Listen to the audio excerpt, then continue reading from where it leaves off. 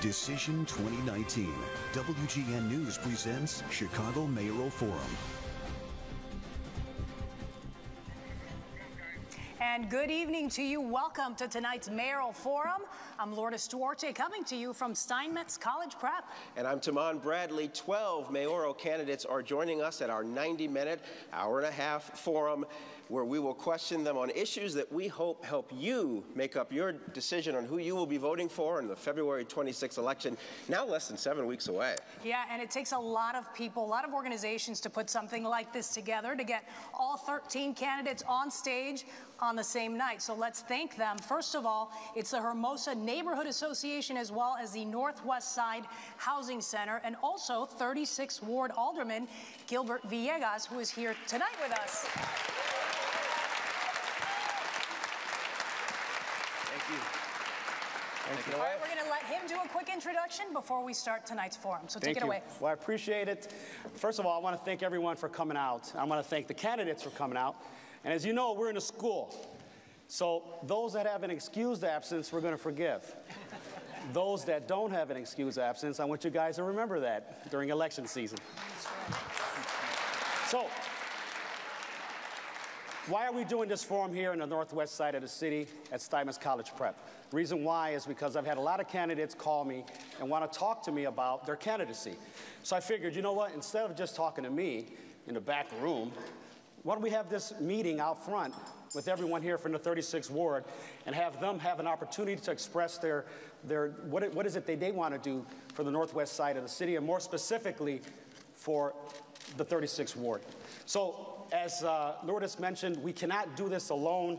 I have Steinmetz College Prep Civic Department, Steinmetz JROTC, Steinmetz Local School Council, North Side, Northwest Side Housing Center, Metropolitan Family Services, Belmont Cragin United, Hermosa Neighborhood Association, Veterans of Foreign Wars, Armed Forces Post 832, which I'm a member of, State Representative Luis Arroyo Sr., Cook County Commissioner Luis Arroyo Jr., Alderman Millie Santiago, and Metropolitan Water Reclamation District Commissioner Marcelino Garcia. So I want to make sure you give them a round of applause for all their support.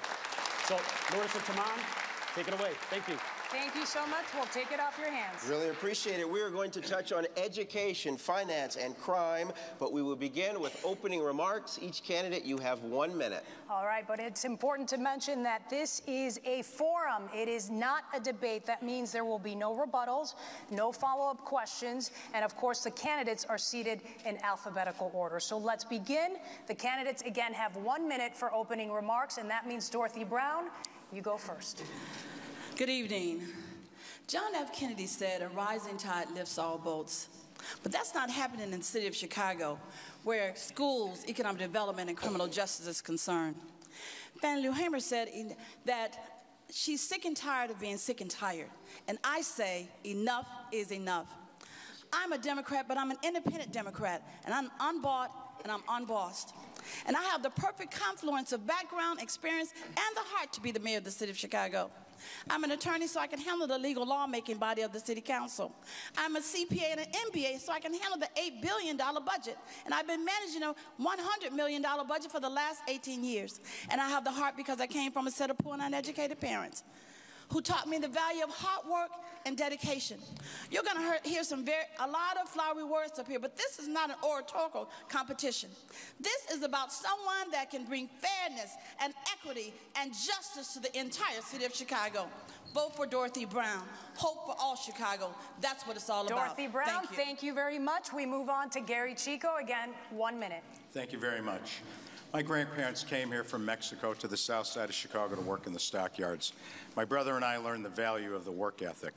When I was called to serve this city as chief of staff, where we put more police on the street and brought about community policing, Chicago Public Schools, where we turned deficits into surpluses, built schools throughout the city, and raised student performance in each of six years, it, it, taught me a great, great deal. But none of those things were accomplished by, by, by, by simple work. It was hard decision making. And what, we, what I'm seeing right now from people like Toni Preckwinkle and Susan Mendoza is raising our taxes. We're seeing soda taxes, sales taxes, property taxes go through the roof onto the backs of our working families and citizens.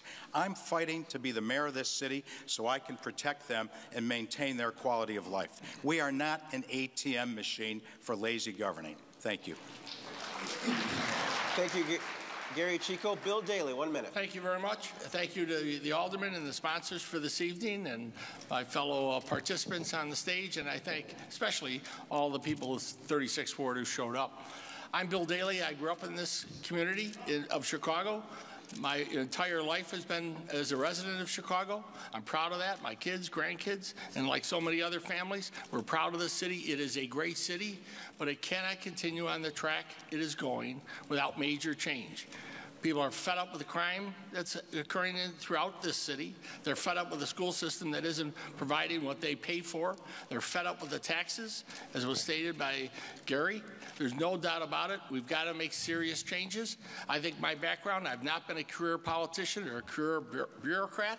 I've, most of my life has been in the private sector. I was President Clinton's chief uh, Secretary of Commerce and President Obama's chief of staff. I'm proud of that, that tenure in government, but we need to make, make some basic changes in this city for the next four years, Bill Daley, or else your we're going to have is a problem. up. Amara Enyia, you. you're up next. One minute. My name is Amara Enyia, and I'm running for mayor of Chicago. And it is an honor to sit on this stage, not just as someone who will tell you what we can do or what I can do for you, but to lift up the voices of those of us in communities who have been calling for true change for years. Our campaign is a people centered campaign. And in light of recent developments, I want to lift up not only young people, but the organizers who have pushed for change in communities across the city and whose voices have largely been overlooked. We say that in order to get different outcomes, we need a different kind of leadership that is born of a validity of our experiences and that recognizes that public policy must emanate from the ground up. This is our opportunity. This is a unique chance for Chicago to move in the right direction with leadership that actually reflects our values of equity, of justice, of transparency, and of government that is responsive to our constituents. That is the heart of our campaign, and I'm hoping to be able to share Amara your voices. Enyia, thank you very much. Bob Fioretti, one minute. If you're satisfied the way this city is run, then I'm not your candidate. When I was alderman of the, the most diverse ward in the city, I created more than 8,000 jobs, worked for excellent schools, and voted no on a lot of bad budgets. I'm running for mayor for the same reasons I ran for alderman, to solve problems. Except the problems are worse now than they were then. We're, when I was alderman, I worked for you. I was the reformer. The, I, the, record shows I was the most independent alderman. Where were these candidates when I raised issues on the council floor and in public forums over the last 10 years and talked about every reform measure that they've just discovered? From term limits to reducing the size of the city council to making aldermen a full-time job. They either fought me or sat silently on the, on the sidelines. This election comes down to this. Who will you trust to run and the, and the future of our city? Do you want more of the same from the political ruling classes who make friends and relatives rich, or do you want someone Thank who you, will sir. work for you? LaShawn Ford is up next. Chicago is a beautiful city, but we need to heal as a city. There's been so much crime, so much violence, and so much neglect in every community.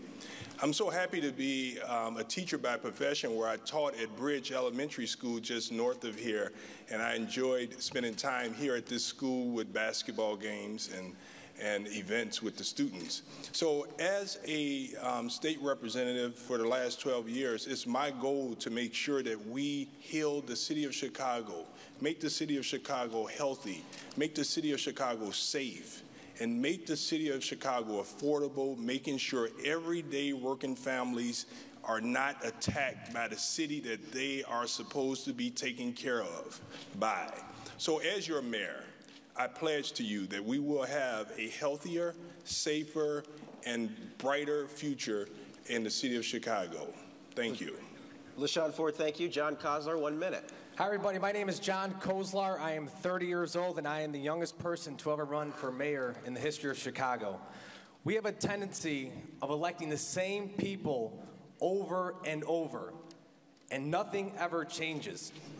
The, the issues that we face in 2019 are the same ones we faced in 1980, and that's crime, education, and city finances. We have corrupt politicians that put our city last and that put their friends and family first. If we elect Bill Daley, Susana Mendoza, Gery Chico, or Toni Preckwinkle, we're going to end up talking about the same issues in the next four years. And that needs a change. We need to put Chicago residents first and these corrupt politicians last. And I'm here to do it. Let's move on to Lori Lightfoot. You have one minute. Thank you. Good evening, everyone. My name is Lori Lightfoot, and it's my great pleasure to be with you tonight. Now more than ever, we need change. I got into this race back in May when, May when Rahm Emanuel was still on the ballot. I didn't wait on the sidelines until after Goliath was stayed. I got into this race to talk about ethics reform, and I talked about it early on. And I talked about the corruption related to Ed Burke long before the federal investigation became public.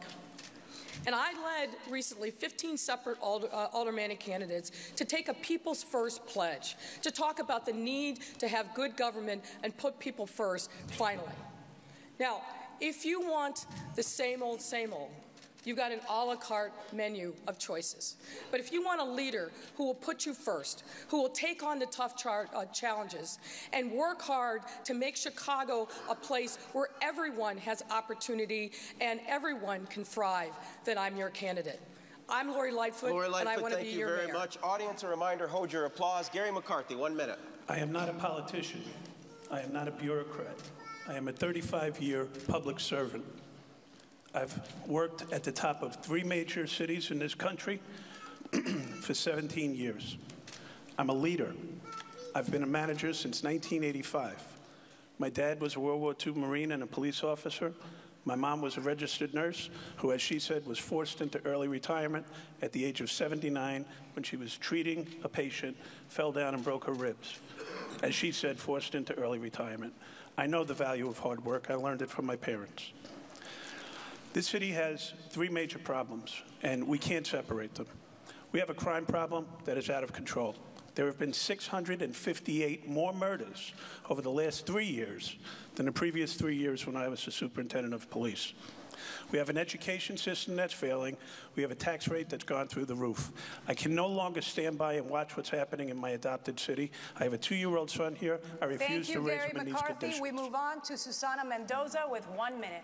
Thank you. Good evening. My name is Susana Mendoza. Just to be clear, Gery, it's Susana with an A. It's not silent, and neither am I. Um, I also want to say that I'm running for mayor because the future of Chicago is at stake, and I'm interested in focusing on not just the next four years, but the next generation. Um, you know, I love the city with all my heart, and the issues that plague this city, the issues that we all grapple with violence, under resourced schools, high property taxes they're not just issues to me, they're personal. Um, I live in right around this neighborhood. My son, who's six years old, my husband and I are proud parents of him, and he goes to a neighborhood CPS school right in the 36th ward. Uh, it's Miser Elementary, and we're going to be CPS parents for the next 13 years of our lives. Um, I was born in a neighborhood, a tough neighborhood, and I was, I, my parents felt they had to flee because of violence, and no family should have to leave because of violence. I'm committed to be a mayor who is from the neighborhoods, understands them, and puts them first, and I'm very proud to represent the people of the city of Chicago towards the next generation. I hope I can have your support. Susana Mendoza, thank you very much. Paul Vallas, one good minute. good evening. I've been generally worried about the city for a long time, so worried that I found myself constantly thinking about Chicago and its problems. And with my experience in successfully managing multi-billion dollar budgets and managing giant school systems, not to mention natural disasters, it seemed morally wrong to just sit around hoping that things would get better. So in spite of our rather intimidating mayor and his rather intimidating millions and Chicago's rather intimidating machine, I did what few of the other big name candidates did in this race. I found the courage to jump into the race and run against Rahm Emanuel. Now, the race obviously looks a lot different today than it did last year, but one thing is the same. I'm still the only candidate with the skills and the track record to manage this great city from day one. The voters have to treat this election like a job interview because that's what it is. My vision for the city is very different than the vision we've been fed by the machine. My vision is to give the taxpayers of this city value for their dollar and ensure fairness in every neighborhood. Thank you very much. Thank you, Paul Vallas. From him, we move on to our last candidate, Willie Wilson. Uh, my name is Willie Wilson. Uh, I do not believe in raising taxes on people who cannot pay taxes, number one. I believe that we have to balance the budget through ways of creating a tax system that will lower taxes to the corporation as well as our citizen in the city of Chicago.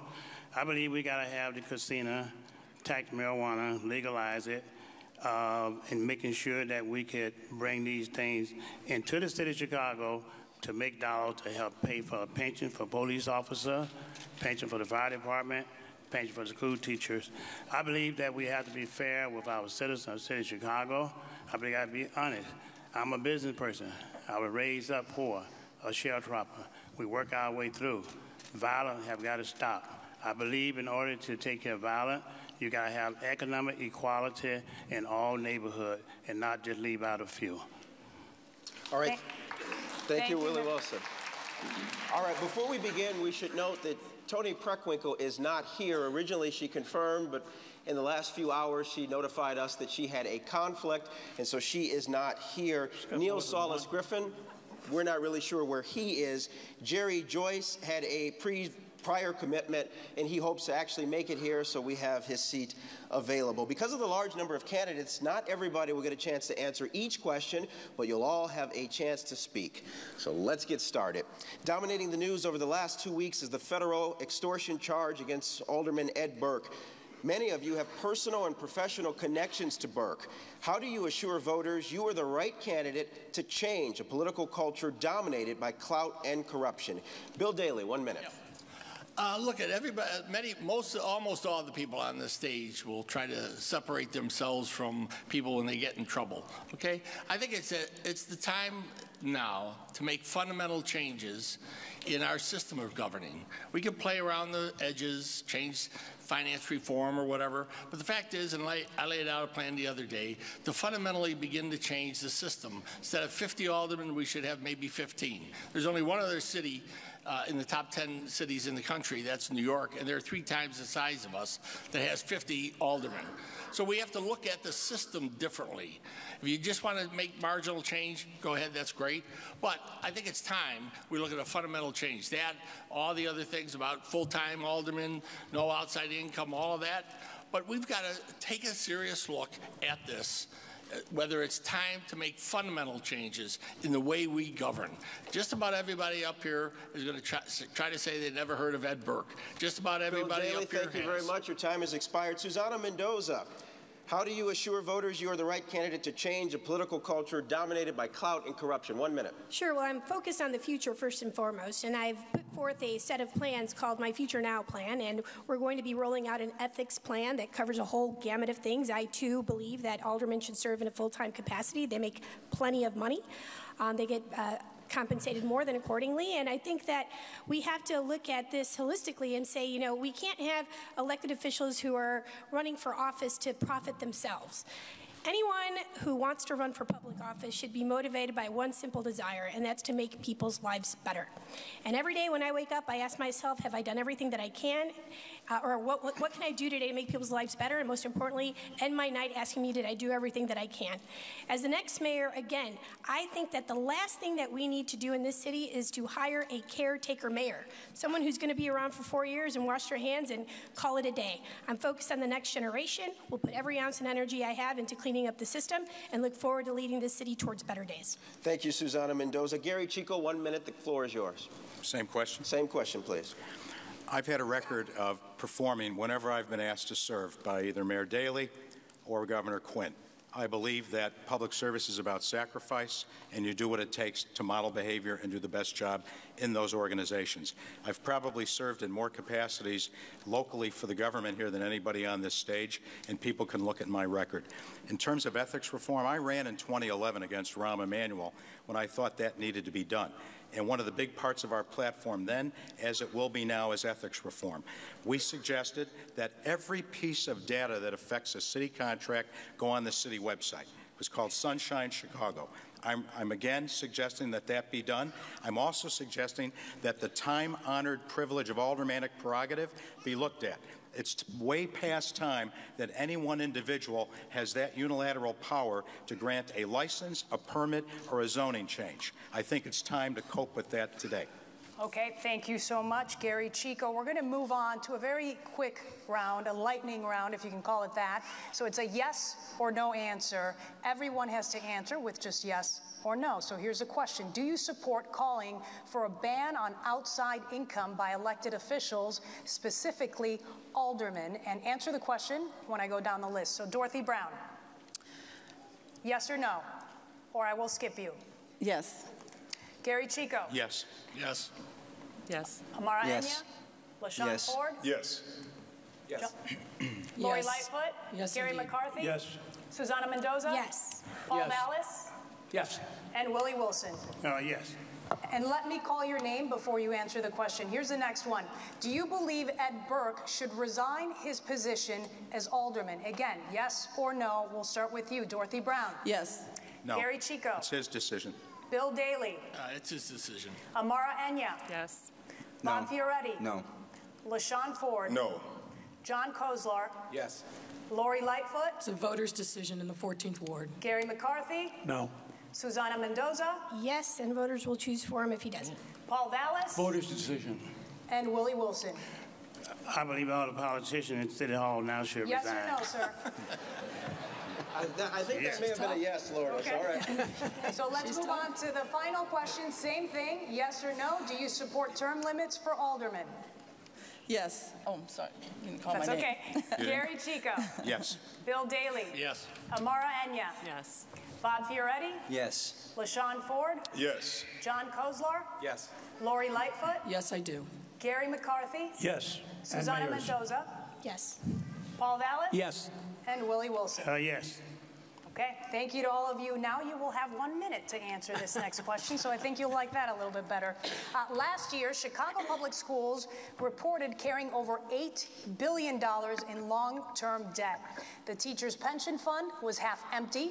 So, what is your specific plan to shore up CPS financing, and would you close more schools across the city? I'm going to begin with LaShawn Ford. Again, you have one minute.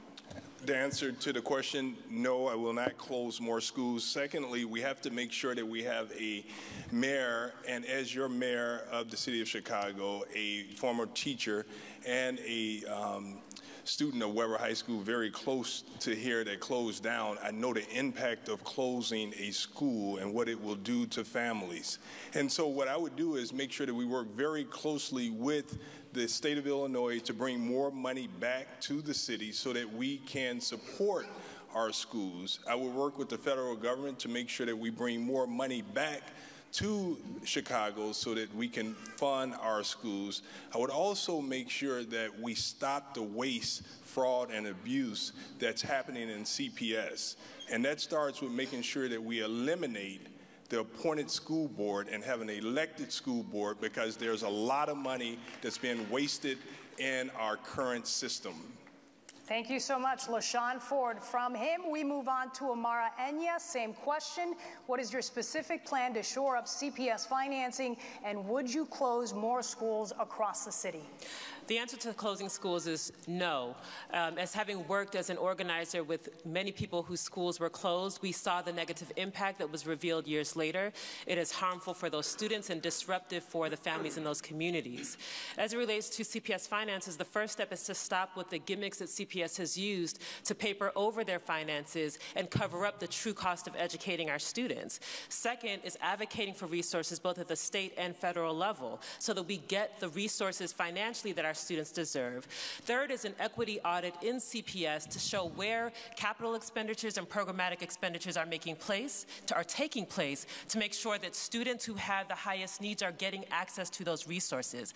And finally, the culture of corruption that's been allowed to thrive in CPS that's cost us $20 million no-bid contracts, uh, numerous lawsuits in the hundreds of millions of dollars because of sexual abuse. Those scandals cost the city and cost CPS financially. We have to uncover those things as well. Amara Enyia, thank you so much. We move on to Paul Vallas. Same question, sir.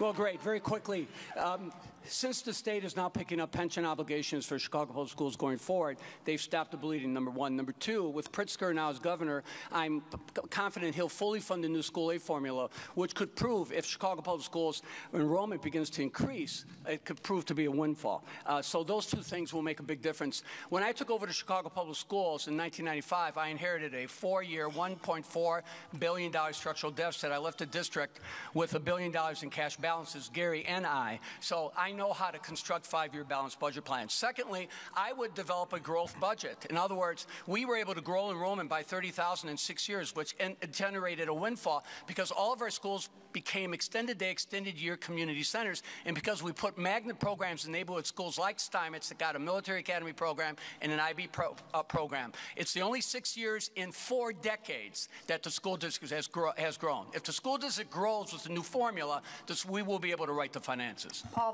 Thank you. And from you, we move on to Garry McCarthy. Same question. So it starts with an audit and perhaps a prosecution once we figure out where the corruption has infected the budgets of the, uh, of the schools. Uh, second of all, uh, we have to have budgets that are adhered to. Anybody here who's ever been to a city council finance meeting, it has nothing to do with finances. We have to have budgets that matter. We can't just blow through them. We need to stop borrowing to pay our debt. In 2016, we bonded $500 million to pay for part of the operating budget of CPS. As a result, we're going to be paying $70,000 a day for something like 28 to 30 years in interest to pay that debt off. It's like taking your MasterCard and putting everything on it and then paying it with your Visa at the end of the year. Um, we've got to stop political spending and do needs-based spending in all cases. I would not close any more schools. I would put resources right into the schools to correct the conditions. Mr. McCarthy, thank you. One last candidate to answer the same PS financing, and would you close more schools across the city? Willie Wilson, that is your question. You have one minute. we, we will open up uh, those schools that was closed down, maybe not all of them, but we'll put high technology in those particular schools. We'll balance the budget by bringing in uh, casinos and other businesses. We'll lower these taxes so people can stay into the city. The corporation can stay into the city as well. Our people leave from out of Chicago and pay higher taxes or go to Indiana, Texas, and Arkansas. Those customers leaving out the state. You got to understand business, understand the people. If you lower taxes, you keep your citizens in Chicago. If you lower taxes, you keep your company in Chicago. If you keep raising them, you're digging a hole. The politicians today must be able to balance budget. If they balance budget not with taxpayer dollars so much, but you can balance budget with your own dollar that you make, you'll be okay. A lot of problem with uh, the, the dollars in terms of the school, the politicians, a lot of them, the alderman, the mayor, is plain on crooked. Willie Wilson, thank you very much. Staying with our theme of schools, last year the Chicago Tribune shined a spotlight on abuse at Chicago public schools, and a report by the district later showed broad failures at all levels. They've made some adjustments. Do you think they made enough changes to protect students, and what will you do differently if elected? One minute, Lori Lightfoot.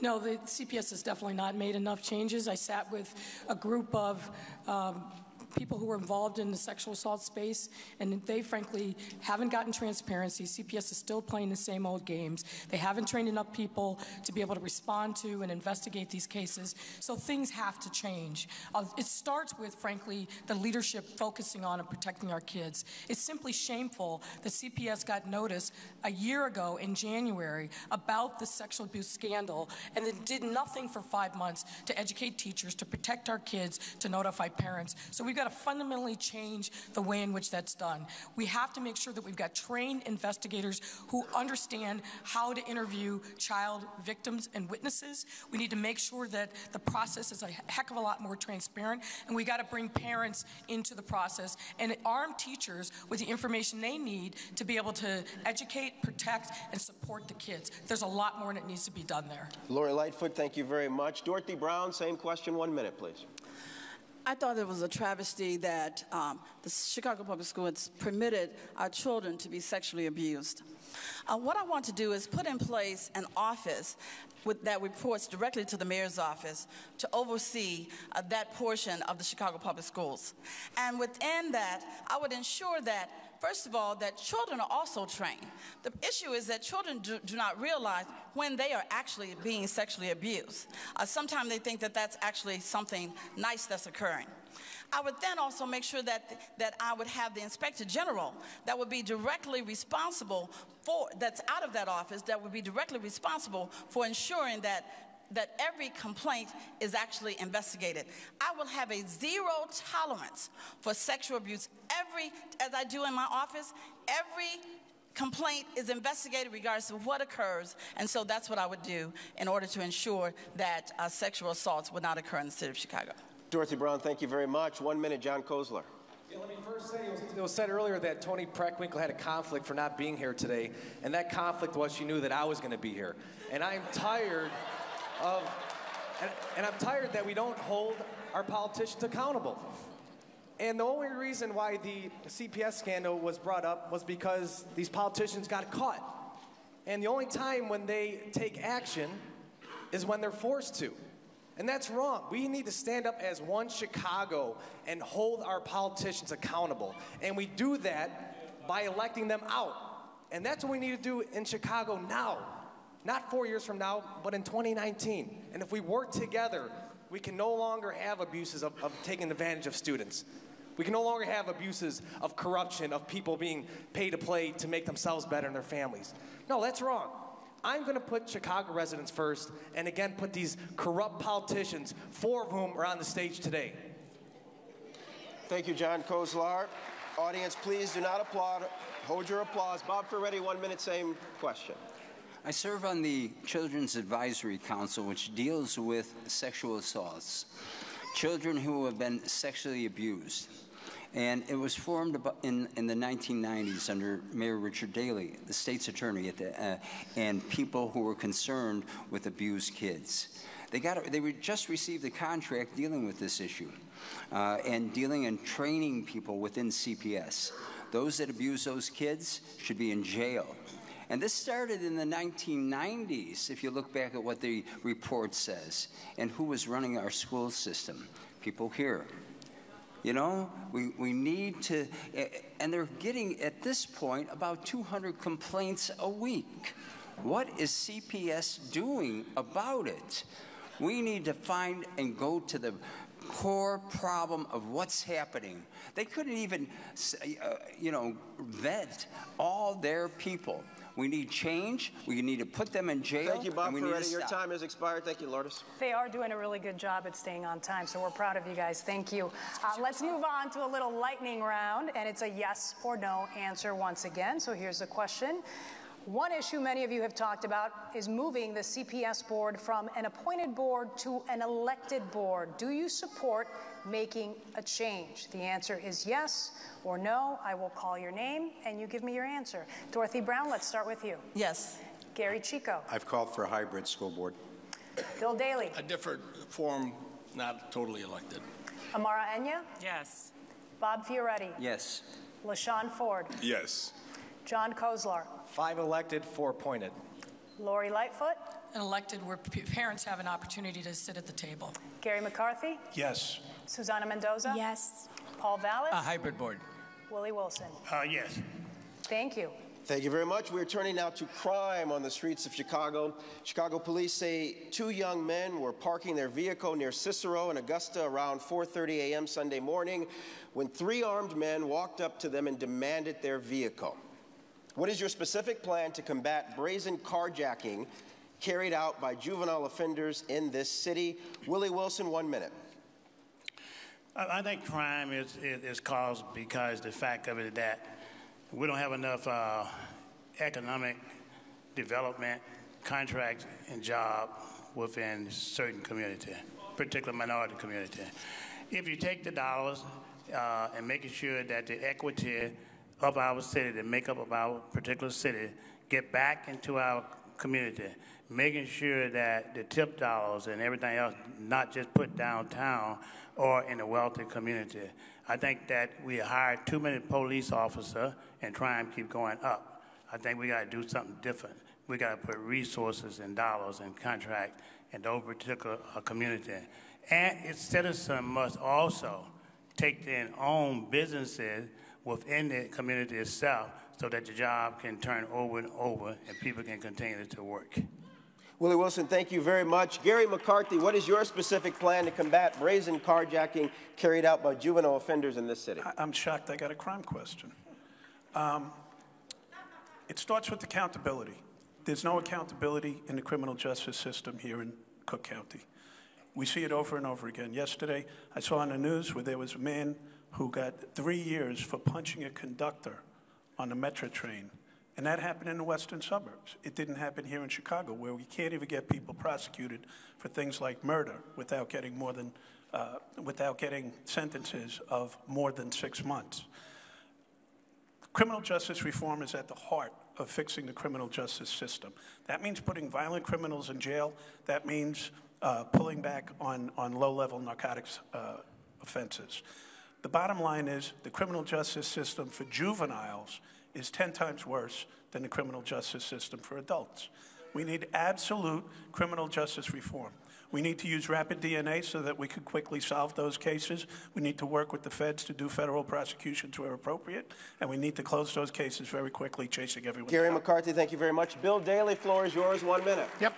Uh, this is probably the single biggest issue facing the city, and every neighborhood is affected by it. We had almost 3,000 shootings last year, 500 plus murders, way beyond what New York, which is three times the size of our city, or LA, which is 4 million people, we're only 2.7. We need an aggressive strategy around sentencing, tougher gun laws. We need better training for our police department, using technologies more. If it was up to me, I'd have a camera on every block in this city. I use drones to help the police officers and help the citizens of Chicago be safer. The third part of my plan, you can go on daleyformayor.com and see it, is a real violence prevention program. It has worked and helped the police departments in LA and in New York. And I've committed to put $50 million in that with a deputy mayor for violence prevention to work with the young men, mostly black African American from 18 to 27, to change their lives and, and have a concerted effort to make a real change in this issue. No doubt about it, we need more jobs. Bill in Daley, thank you very much. Amara, but- in your same question, one minute, please. It is amazing to me that we will spend $40,000 to incarcerate one individual, but we cannot find sufficient funding for our schools, and then we complain about crime. There is a root cause to crime in this city, and it is directly linked to investment. Preventative measures mean children have to have options, both in school and in training, so that they can function in the economy legitimately when they leave. If we do not provide that infrastructure, which is the city's responsibility, then we cannot wonder why young people are doing carjackings. We have put a lot of money into investing in police infrastructure, yet, if our legislators and if our government actually address the public policy failings across the board, from public health hazards, exposure to lead in the water and manganese in the soil, to lack of, so, of, of mental health services and behavioral health services both in schools and communities, if they did their job, they would make the job of police easier. This is a question of investment, not a question of policing, and the city has to get it right. Amara Enyia, thank you very much. And we're going to stay on the topic of crime and police. Here's your next question. The Chicago Police Department is facing a consent decree following fallout from the fatal police shooting of Laquan McDonald. Do you support the current agreement? And what is your specific plan to improve the relationship between police and the communities they patrol? Gery Chico, I begin with you. You have one minute. I support the consent decree. I think it's a blueprint to make Chicago's police department better and the relationship between our communities and the police better. I think we need a change in leadership in the Chicago Police Department. We failed. Witness the fact that we need a consent decree. Witness the fact that we have a 17% homicide clearance rate. Witness the fact that CAPS has gone away. And I was working in the mayor's office when we brought about CAPS. We need to bring it back. But it's not just that. We have to get these illegal guns off our streets. The gangbangers that are committing crimes with guns are out of control. And what we're finding is that more than 60% of the guns used in these crimes are coming from over the border. I've said that if we can't get Indiana and Wisconsin to work with us, we sue them. And that includes the Cabela's gun shop right in Indiana, right in Hammond, Indiana. We can no longer take this. But understand at the end of the day, it's not just a policing problem. We have to do some of the things that Willie talked about. We have to invest in our neighborhoods, give people a chance to work in a positive job. And I believe if we do that through programs like the Ready Initiative, you'll see improvement Chico, in crime. thank you. LaShawn Ford, same question, one minute. Thank you. Yes, of course, I support the consent decree, but we know that it does not go far enough. And what we have to do is make sure that we work with the FOP and we must work with the state, the city, and all of the elected officials and the community to make sure that we have a fair contract so that we can make all of our communities safer. there's no doubt that the consent decree falls short of doing what it was supposed to do. And of course, when President Obama was um, in office, his um, federal Justice Department said that there was racism in the police department. That racism not only jeopardizes the police, but it also jeopardizes the community. And so we need healing in this city. We must do everything that we can to have a fair contract with the FOP, and we can no longer leave our police unprotected, no longer leave our communities unsafe. And so it would be me Mr. as Ford, mayor. thank, thank you. Lori Lightfoot, you're up next. Same question. Yes, the concept of a consent decree is right, but the, con- the consent decree is drafted, needs sub- substantive changes. I've outlined what those changes are. Some of them are this. One, it doesn't deal with um, the accountability issue that we've got. We're spending 50 to 60 million dollars every year on settlements, judgments, um, and attorney's fees. That's to the side. That needs to be part of the consent decree process. It allows for shooting into crowds, which is a mistake. It allows for chokeholds, which is also a problem. And it doesn't have a foot pursuit policy, which is also a problem. There are other substantive changes that need to be made, and I'm hoping the federal judge, before he signs it, will make those changes so that we have the ability to transform the police department. I'm the only candidate in this race and on the stage that actually has a track record of, su- of success in dealing with police reform and accountability. The work that me and my colleagues did on the Police Accountability Task Force is the underpinning for the consent decree. I know how to do this work, and I'll be ready day one to make the necessary changes to transform Thank you, our Lori police Lightfoot. department. John Kozlar, you're up. Yeah, the, the provision that I do agree with the consent decree is more training. I think the police officers will also agree uh, that the more training we have, the more benefits that will be for the Chicago Police Department. But I also think that we have to let the police do their jobs. They have a very, very hard task in front of them, and we continue to make it more difficult for them to do their jobs. They've been doing an excellent job overall, and there are some bad apples. Let's not be, let's not be wrong about it. But let's hold those individuals accountable, but not the whole police department, because there's a lot of good men and women on the police force. The one specific idea that I have is a 60-40 idea. So right now, there's t- the problem is there's tension between the police and the communities. But when we, they work together, that's when everybody benefits. Right now, the criminals are benefiting. So in order to police in that specific di- district, 60% of the police officers have to live there.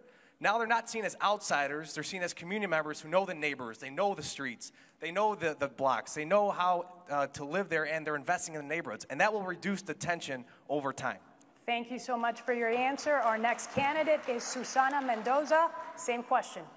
Thank you. Well, number one, I do support the consent decree and uh, will work towards implementing it. Um, number two, uh, the Obama Justice Department's key recommendation in that was to provide better resources and training, better resourcing and training of our police department. That is a critical component. You cannot possibly expect police officers to only work off of the training they receive in the academy, put on the vest, wish them luck, and expect great results. These men and women, first of all, anyone who puts on the uniform, whether it's in the military or in our police department, deserves our respect, and we need to honor that sacrifice that they're willing to lay their lives on the line for people that they have never even met. I have family in the police department and I want them to come back home safely. But I also want to make sure that every mother in this city whose kids may look different than I do also feel the level of comfort to know that they will come home safely. This is going to be a tough job, but I know what it's like to be that scared kid who needs to rely on police for a safe environment, and I know what it's like to have family on the force. And I think it's time that we have a mayor who understands both sides of the equation and will work hard to implement. Thank you for your time. This next question is also yes or no, but I'm feeling generous, so I'm going to give you 30 seconds to answer. So here's the question Would you replace Superintendent Eddie Johnson? And I will go down the line. Dorothy Brown, you have 30 seconds. I will give Superintendent Johnson an opportunity to interview for that job. Okay. Gery Chico? I already called for his removal. I've laid out the reasons why. I think we failed on a number of, of, of, of, of accounts. But I want to echo what John Kozlar said. There are an awful lot of good police officers that risk their lives every day for us, and we have to keep that in mind in any kind of reform that we undertake. Okay. Bill Daley, 30 seconds. Um, I believe that uh, Superintendent Johnson has served this city well for 30 some years. I don't think we should politicize the superintendent's job. He's got five months left, or whatever it is, till the new mayor takes over, and I don't think that should be thrown into the middle of this political season. Let him do his job and let the police officers do their jobs. Thank you, sir. Amara Enyia, 30 seconds. Much like what's happening in City Hall on the fifth floor, we're talking about systems change and culture change. And often that requires changing the people because the mindset has to be aligned with the values of that institution. If the current leadership cannot adopt the mindset, the values that we have, especially as it relates to transparency, integrity, then you have to change those individuals. Thank you. Bob Fioretti. Yes, I am in favor of the removal. I say this with some hesitancy. And, I, and here, here's what my caution is because we should not make it a political. We need a professional to run the department. Wherever we find that professional, that professional has to have the integrity and has to have the ability. That person has to come forward and make sure we have the correct hiring, training, supervision, and discipline of this department. Thank you. LaShawn Ford. You know, we can't just um, destroy the gains that we've made under the current superintendent. So, what we would have to do is make sure that he understands that he has to reapply. We can't leave our city vulnerable. So, what I would do is make sure that we hire the best superintendent for the city. And I believe that we should give young people rising up in the ranks the opportunity to be the leader in that police department. So, as mayor, we will hire the best person for the job. Thank you, sir. John Kozlar. I'm going to treat Mr. Johnson just like any other individual that applies to be the superintendent. And the, the big part that we need in Chicago is a fair process. So if he is the best person for that job at that time, then I will support him. But if he is not, after we do a national uh, recruitment of the top position, that's what I'll go by. It's fair and, and be uh, honest with the city of Chicago. But I will tell you that, and I know I have nine more seconds here, I'm going to bring a tidal wave of new ideas to City Hall, and that's what's needed in the city. Thank you, Lori Lightfoot. No, I don't think that we should be even talking about this now. We need stability in the police department. We need the police officers to have confidence in their leaders. We need them to do their jobs. The next mayor is not going to take office until May. By then, this, the planning for the summer violence season will be underway. Obviously, um, Eddie Johnson um, has a very difficult job. I'm very candid with him about the challenges. I will continue to do so, but I think a proper evaluation and a transition has to happen and not reflexively play to the crowd Thank and say we're going to fire time. him. Garry McCarthy. I promoted Eddie Johnson twice. Um, he's done a great job with the community. I am incredibly dissatisfied with the fact that we've completely lost the crime issue here in Chicago. Um, I would do what municipal law actually prescribes, which is this time make him apply for the job instead of getting the city council to change the law for one day so I could appoint whoever I wanted to. So I would invite him to actually apply this time, and just like every other at-will in, in city Thank government, you, he will have an opportunity. Mendoza, you're next. I think it's irresponsible at this point in the campaign when none of us have been elected mayor or yet made it to a runoff to be making personnel decisions on probably the most, if not one of the most important jobs in this city. I think the superintendent has a really incredibly tough job. I do believe that as mayor, I can guarantee you that I'm going to look to hire the best and the brightest, and whoever that superintendent is, is going to be a person, whether it's him or someone else, that shares my vision of having to restore community trust between the police and our, and our communities so that everyone comes home safely at night. Thank you. Paul Vallas. I think it's pretty cowardly to call for his resignation by the same candidates who failed to criticize Rahm Emanuel for his mismanaging and his degrading of the police department. An administration that didn't fill 2,000 vacancies, that decimated the detectives division, that decimated the sergeants division. So at the end of the day, you know, Johnson came from Cabrini Green and he rose through the ranks and he didn't want the job in the first place. What makes us think that he's going to want to stick around? So at the end of the day, I think it's pretty cowardly to make him the scapegoat. No applause, please. We move on to Willie Wilson. Same question, 30 seconds. Well, I, I would do it this way. We would bring in four superintendents of police, split the city in four different areas so you can get closer to your people. I think you got 50 aldermen in the city of Chicago and only one superintendent of police. I think you need four. Also, in terms of my replacing him, anybody, anybody who is a friend associated with Rahm Emanuel got to go. Willie Wilson, thank you very much. We're now going to move on to the city's troubled finances. Chicago is facing nearly $1 billion in new required annual retirement payments in five years. Mayor Emanuel laid out his blueprint to help meet the obligations that is changing the Illinois Constitution pension protection clause and modifying the yearly 3% cost of living adjustment. Do you back that idea? And if not, what is your plan to come up with new money needed to meet pension obligations? Amara Enyia, one minute, please. I do not back that idea of amending the Constitution. I think the city has not focused on actually having a revenue consistent with the needs of the economy for the future. Uh, we have not reevaluated, reevaluated our tax structure, which we should. The property tax system is actually antiquated. Brick and mortar stores are no longer the go to. That's a reality of the economy that we have to face. So, how we tax the city must change. We need a public bank for Chicago so that we can fund our own infrastructure. That's billions of dollars that we now spend with private banks that could otherwise be recirculated into our economy. We need to expand the small business sector, be able to issue low interest loans to entrepreneurs so that they can generate revenue for the city. We have to amend the way we generate fines and fees so that we're not unduly burdening those who can least afford to pay. Until we focus on a growth economy that is inclusive, where people have entry points at every stage, we will continue to have a revenue problem and therefore a financial problem. Amending the Constitution is a late term fix for a long term problem. Amara Enyia, thank you very much. LaShawn Ford, modifying COLA and changing the constitutional pension protections. I absolutely disagree with the um, proposal. What I think we need to do is make sure that we make people more um, less dependent on government and give them opportunities to be included in our economy. When we do that, we grow our economy by making sure that people pay taxes and not be dependent on taxes. So we want to make sure our communities are healthier, safer, and when we do that, we reduce our liabilities on the police department we do everything that we can to have high quality education so that more people are connected to the workforce. When we do that, we have more people paying taxes. When we do that, we also have an opportunity where there are more homeowners able to save their homes and stay in their homes so that we no longer have to foreclose and take those properties off the tax roll.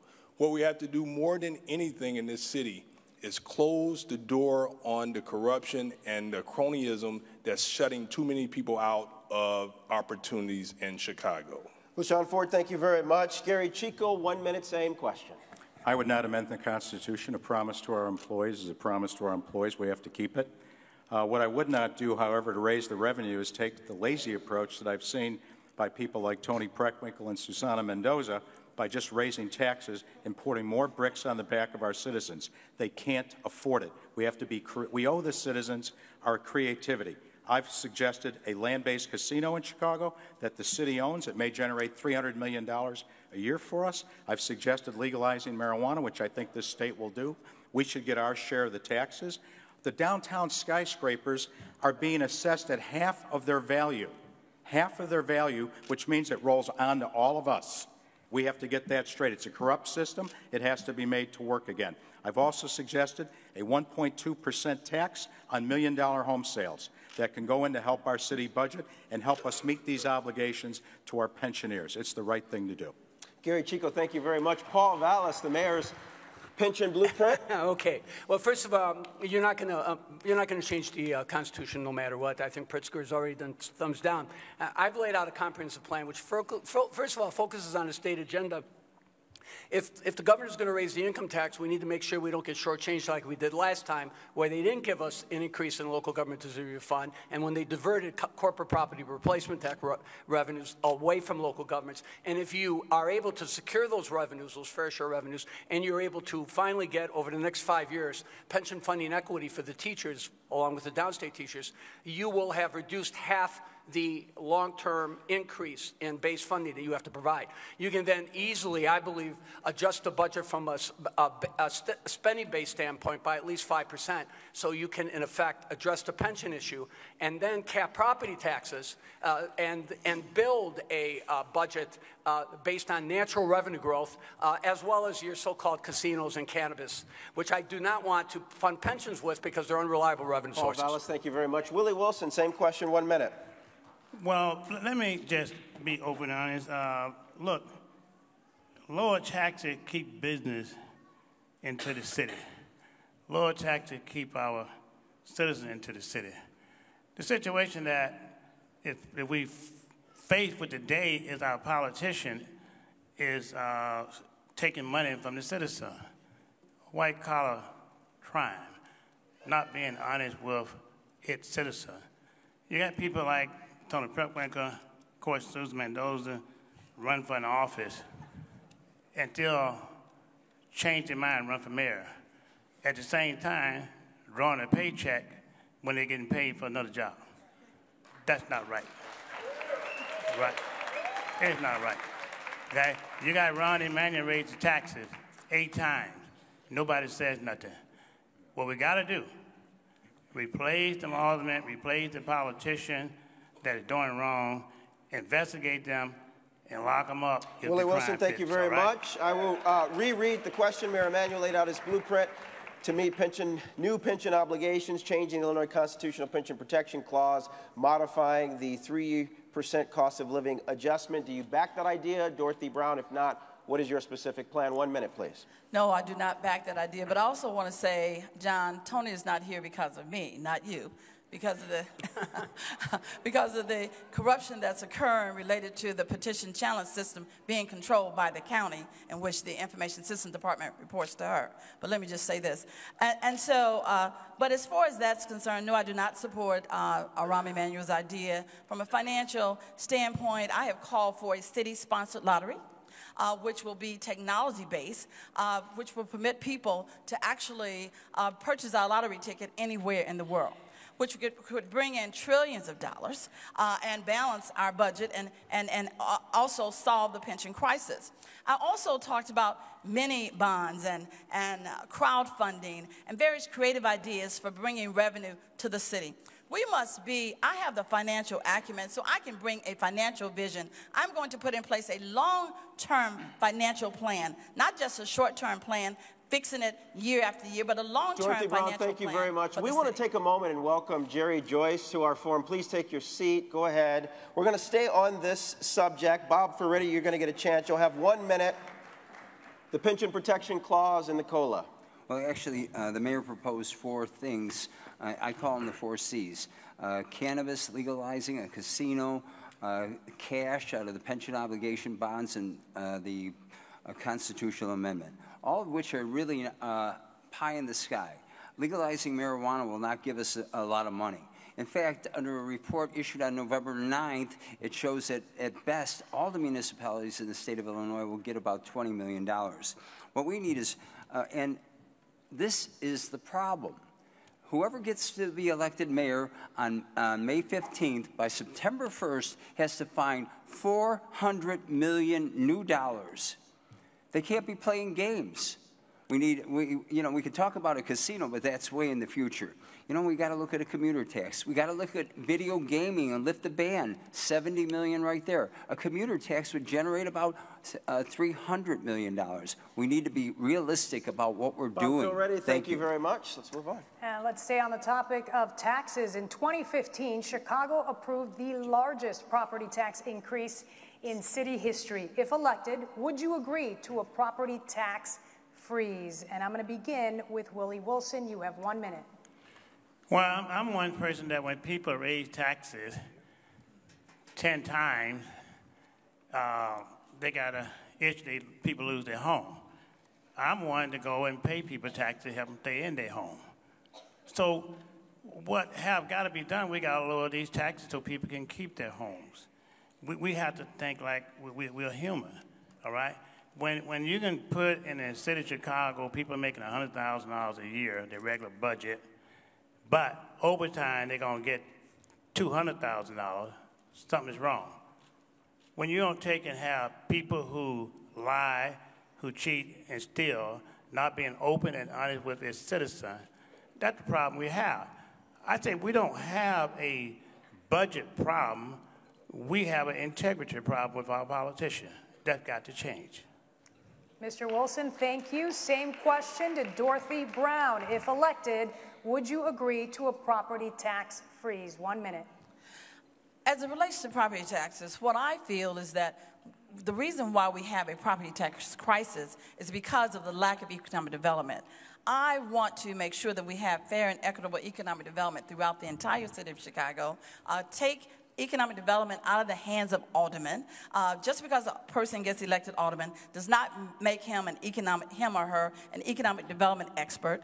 Get away from that ward level approach. I call for eight planning districts. And so as we raise the health and wealth of our communities, then we will increase the tax base. And so therefore you do not have to increase the tax rate on all of the other uh, on all of us. And so so I won't say, I, I'll say that I won't increase the tax rate because I'll increase the tax base of this city by bringing fair and equitable economic development throughout the entire city of Chicago. Dorothy Brown, thank you very much. Jerry Joyce, as we bring you into the forum, a reminder no rebuttals, no follow ups. I will ask you the same question. If elected, would you agree to a property tax freeze?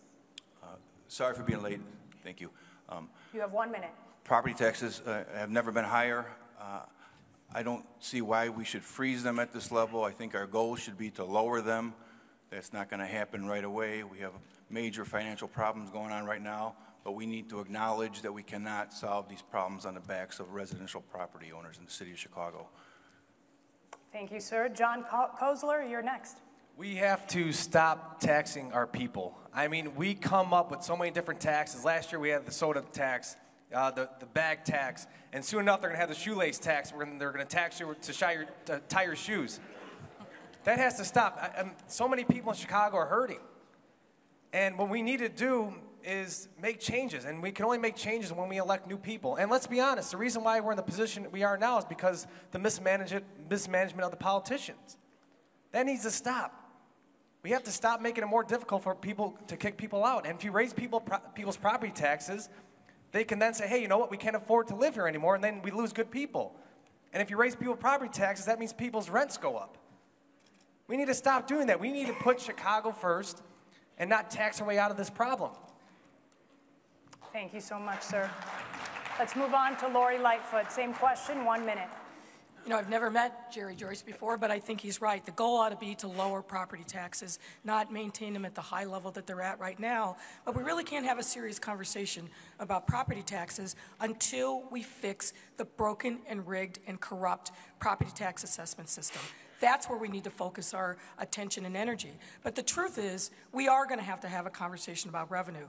Um, Gery Chico and others have talked about all these things casino, legalizing marijuana, and other things, uh, progressive revenue, um, uh, progressive revenue ta- uh, income tax. But the truth is, those things aren't going to come online in enough time for us to solve the problem. The next mayor is going to take, uh, take office in May, halfway through the budget cycle. We've got a structural deficit of 200 million, not 98, as Rahm said. We're going to have to come up with progressive forms of revenue to address the immediate needs now in the budget and also the pension crisis. But before we do that, we have to assure the taxpayers that we are going to be proper fiscal stewards of their hard earned tax dollars. Thank you, Lori Lightfoot. You know, I really like your lightning round. Can I do one? you can steal it. Go ahead. All right, how about that? We're going to go down the line. Yes or no? Do you back a Chicago casino? Dorothy Brown. Yes. Yes, I called for it in 2011. Bill Daley. Yep. No. Yes, and I called for it in 2010. Not in poverty areas. Uh, yes, uh, dedicated to the unfunded, unfunded pension liabilities. Yes. Yes, as long as the city owns it. Yes. Yes. Yes, as long as the city owned. Yes, as long as it's uh, the uh, citizens of Chicago own it. Okay, all right, let's, uh, let's keep this going. Uh, again, back starting with Dorothy Brown, one uh, minute, yes or no. Do you support amending the Illinois Constitution to allow for a progressive income tax? Dorothy Brown. I'm, I'm not interested in amending the Illinois Constitution for yes, yes anything. or no? I'm sorry. I, yes or no? Yes. Uh, no. Okay. I'm sorry. It's not one minute. It'll be yes or no for this. Gery Chico, yes or no? No, taxpayers can't take anymore. Bill Daley. Uh, Yes. Amara Enyia? Yes. Bob Fioretti? No. LaShawn Ford? Yes. Jerry Joyce? I'd have to see the governor's proposal. John Kozlar? No. Lori Lightfoot? Yes, the current system is unfair. Garry McCarthy? No. Susana Mendoza? Just to be clear, was the question, do I support amending the Constitution for a progressive income tax? Yes. Correct. Yes. Paul Vallas? You don't need to because you can amend the existing income tax to make it progressive. Willie Wilson? No, I got nothing to do with raising taxes. Next Okay. question. Next question. Do you support legalizing recreational marijuana? Dorothy Brown, yes or no? Yes, but I would say we need to make Keep sure it that we have keep it an yes or no. addiction, Gery Chi- Gery something Chico? related to addiction. Thank you for the yes. Gery Chico? Yes, I was the first person to call for it in this Bill race. Daley? Yes, we could be happy and we could Amara be broke. Enyia? Yes. Amara Enyia, was that a yes? Bob Fioretti? Yes. LaShawn Ford? Yes. Jerry Joyce? Yes. John Kozlar? It's going to happen. Lori Lightfoot? Is that a yes or no? Uh, I my thing is I agree with people if they want to Yes smoke weed, no? smoke No, no, weed. but my thing, I just don't want kids Wait to be minute. in, introduced to Okay. it early All age. right, Lori Was that yes or no, just to be clear? That was just for adults, Lori no for Lightfoot, kids. yes or no? Yes. Garry McCarthy, recreational marijuana, yes or no? Yes, with conditions. Susana Mendoza? Yes. Paul Vallas? At risk of getting hollered by my mother tonight who's watching, Yes yes. or no? Okay. Willie Wilson, yes or no? Oh, they're going to smoke it anyway, yes. All right, thank you very much. They get rowdy at the end of the forum, is what happens here. All right, we're going to move on to some community questions. A lot of the people here had some questions for you that we wanted to make a part of the forum. So let's start with this one, and what we'll do is we'll give you a minute to answer it, and I'm going to pick, let's say, Bill Daley to answer this first question, and I will address it to a few of you. Participatory budgeting is a process where community members directly decide how to spend part of their public budget. Alderman Villegas and Steinmetz students utilized it to help build the new field out front of the school. If you were mayor, would you support the expansion of this kind of budgeting across the city of Chicago? Would you reward additional funding to aldermen and schools that use it? Bill Daley, again, the question is yours. You have one minute. Yeah, I, I think it's a definitely, and the example you use with the alderman and the school is a good example that I think it works. Uh, whether I would expand it without some controls, obviously, we've got to make sure that the aldermen do it in a way that's transparent and open and with the community. So I, I think it's a good concept, and I think we ought to expand it beyond uh, where it's been. Thank you, sir. Let's go on to Garry McCarthy. Same question. I, I, I'm concerned about, we talked about aldermanic prerogative already. I'm concerned about the amount of power that aldermen actually have today. We're seeing problems with that. Um, as long as there's community input, as long as there's stopgaps put in place, as long as there's oversight to ensure that no more corruption is actually happening, I would support it. Let's send the question to Susana Mendoza. If you were mayor, would you support the expansion of this kind of budgeting across the city of Chicago? Would you reward additional funding to aldermen and schools that use it? You have one Yeah, minute. I would support it. I think democracy is a great thing, and the people who live in these neighborhoods have a vested interest in making sure that their neighborhoods work for them. So the alderman is elected to be a representative of the people, right? Not to be a top down approach. And as mayor, I won't be top down. I want to shape the city's future together. And as mayor, I would not only just support that, but I also think that I dedicate resources from the mayor's office to working with those community leaders who want to work to frame a, a plan of action on what they want to see in their neighborhoods and to help them get the financials as to what certain parts of their plan would cost.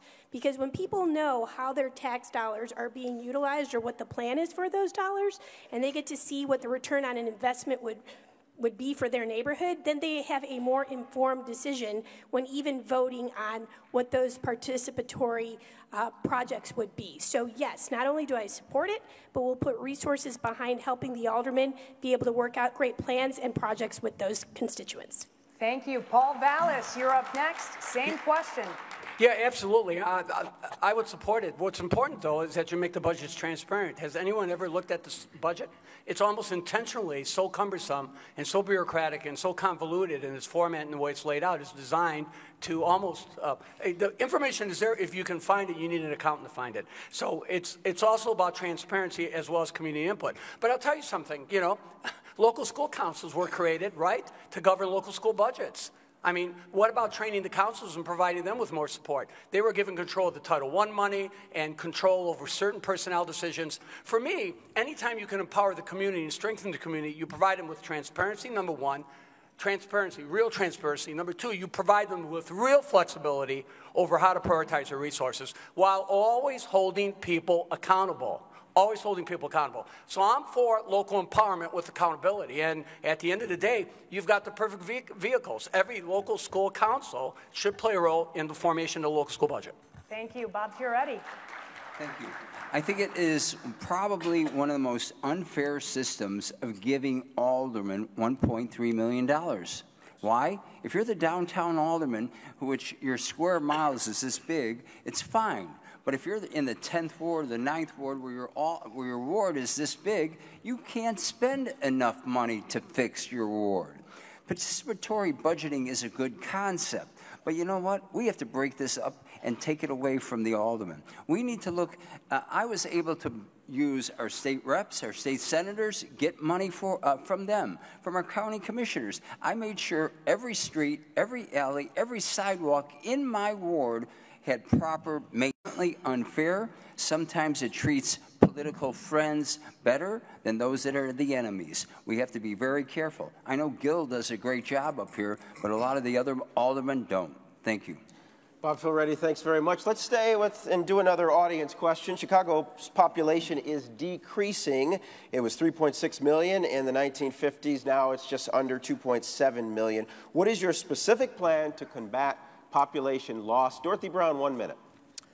Well, I think that the population is decreasing because we have permitted crime to run rampant, rampant in the city of Chicago. It's decreasing because our, we have permitted our schools to go down, and so therefore people want to leave and find better schools for their children. And so my plan is related to uh, bringing up the school system, making it a high quality system for the entire city of Chicago, for all of our children, uh, uh, first of all, and, and reducing the crime by overhauling the Chicago Police Department, uh, and of course, economic development, uh, as making it fair and equitable. As we build the health and wealth of our communities, we will build the health and wealth of our people, and then we will revitalize our communities, and people will be willing to stay. Thank you very much. Jerry Joyce, one minute. Uh, we have a pro proposal to incentivize uh, beat officers to remain on the same beat under one sergeant for 30 months. That will be true commu community policing. That will allow a period of getting to know the community they are serving and vice versa, so that when we investigate crimes, there will be witnesses that will testify, that will um, talk to the police officers and help solve these crimes that are going unsolved. The clearance rates are uh, atrocious. Everyone's well aware of that, and that has direct impact on the safety of our city. Um, one of the biggest problems right now is they can't get witnesses to talk to the police, and that's because they don't trust in the competence of the police because too often the same criminals that perform a shooting on one day or perform the same shooting three weeks later, and the people in the community know who's doing that, but they have no confidence that they're going to, the, the crime's going to be solved. And in fact, why should they put their own safety at risk? Thank you very much, Jerry Joyce. Gery Chico, one minute. What's your plan? Population loss. First of all, we have to keep the city affordable. Right now, people are leaving for four basic reasons. They can't afford it, they're fearful, the schools are not working for them, or their communities don't offer, haven't been invested in to offer them job opportunities. We have to deal with all four. Number one, affordability. I've talked ad nauseum here tonight about tax load that people have on their back. They can't take another brick. We have to be sensitive to what people are experiencing out there. Let's be careful on the taxation of our citizens. Two, crime. I've called for a number uh, in my safety plan, a number of measures to make our city safer. Community policing will lie at the heart of that. Three, investment in our communities. We have communities that haven't been invested in in 50 years. It's time to start doing it. I'll have specific plans for what I'm going to do in each of about seven communities that haven't experienced any investment in five decades. And then finally, the schools. We are going to bring our schools back. Today, I released an education plan. At the center of it is bringing back vocational and technical education so that we can give people a chance All right, thank to work. you very much, Gery Chico. Susana Mendoza, one minute, same question. Thank you. Number one, we need to address violence because if people don't feel safe in their neighborhoods, it's the biggest incentive to leave. I'm a product of that. My parents felt they had no choice but to leave the neighborhood to keep us safe, and it wasn't my choice to leave, but it was my choice to come back and make a difference.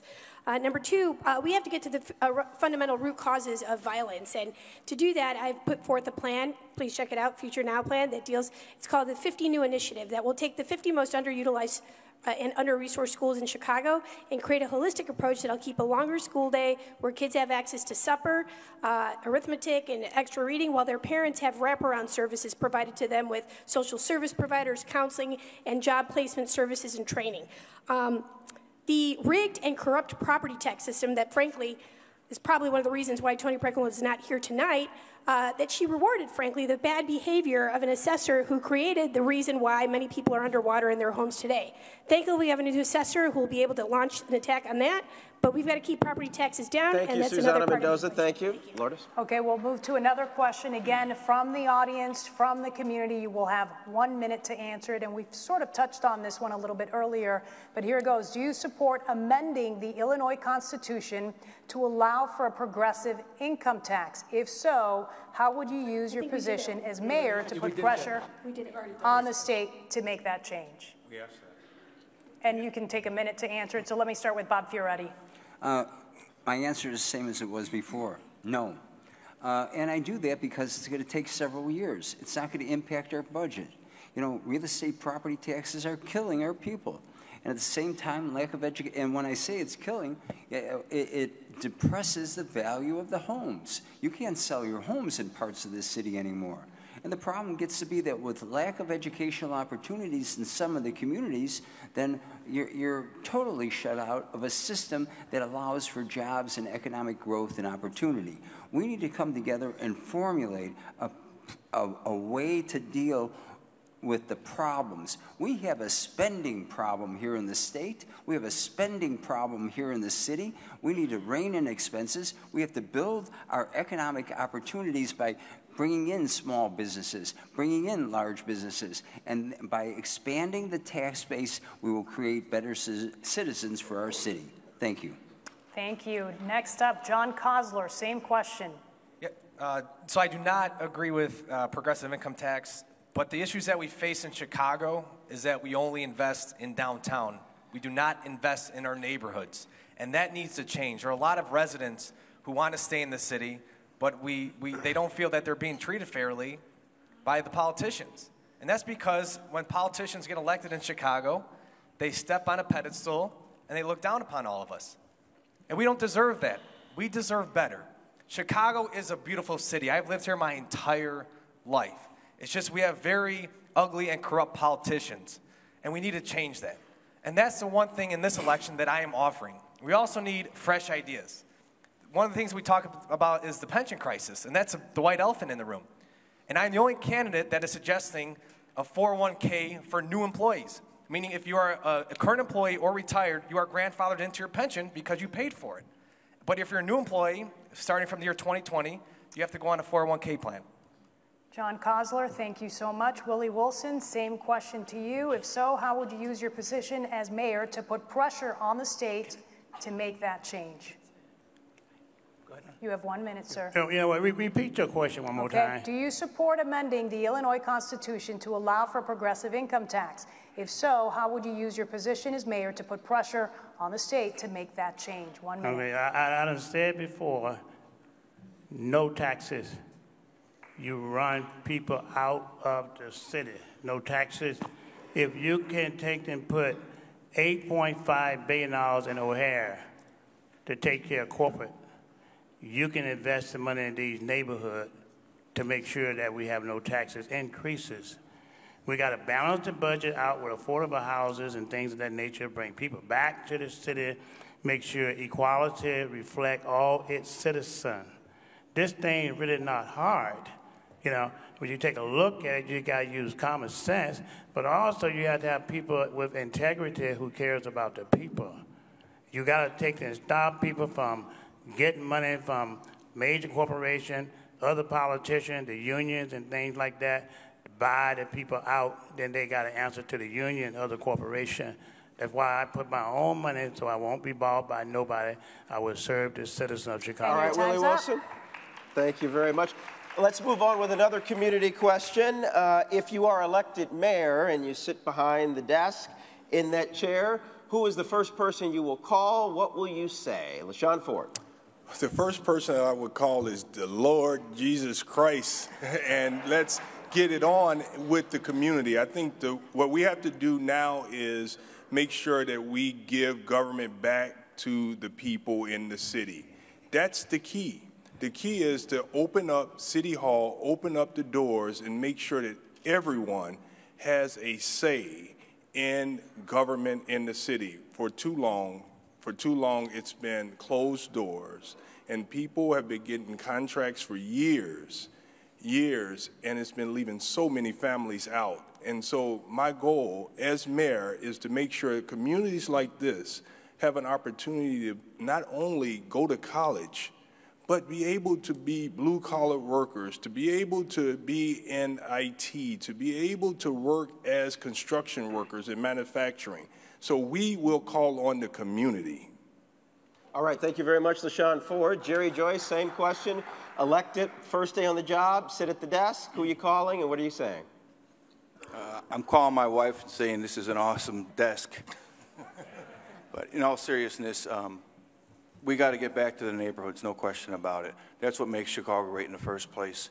This focus on downtown has been going on for the past number of years is uh, really taking a toll on the citizens of our Chicago.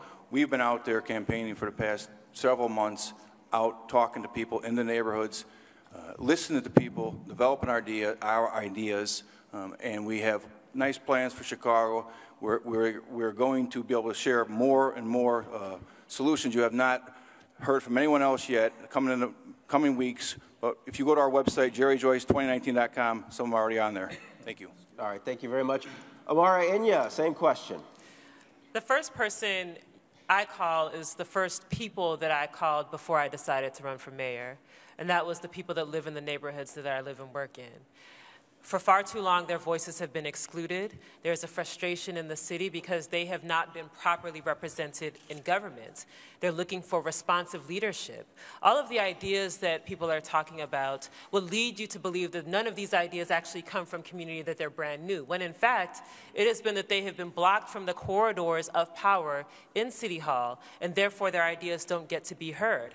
My accountability is to the people in my neighborhood. It is to the people whose voices we have committed to amplifying. And so when you go into government, your past practice will dictate your future behavior. So that's the first group that I would call.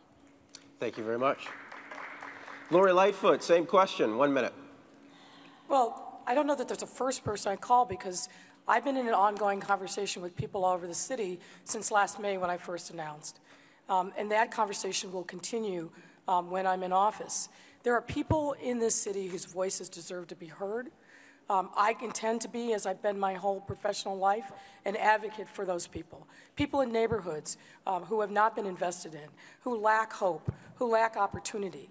Those people are the people's, and those their stories are stories that I will carry with me every single day for the rest of my life, and clearly on the face, first day um, that I am in office. One of the most important things that we have to do, though, is we have to get a handle on the violence.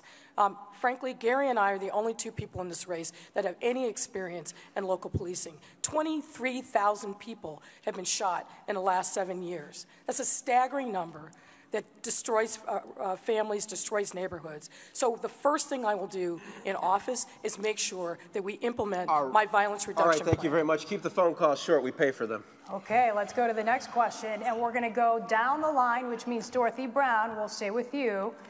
If you had to have a running mate, who on this forum who is here tonight would you pick? So you get to say a name. If you had to have a running mate in the race, who on this forum would you pick? Dorothy Brown. I'll give you 30 seconds. A Lori Lightfoot. Okay. Gery Chico, 30 seconds. I'd pick that good-looking bald guy at the end of the table over there, Paul Vallas, because we've teamed up before and have done some pretty extraordinary things in this city. Bill Daley, you're I up thought, next. I thought Who you were would going you to point. pick? I thought you were going to point to me as the bald guy. Okay, uh, Lori Lightfoot. I've worked with her. I know her. I know what she stands for, and I believe in her. Amara Enyia, same question. You get 30 seconds. You've got 27.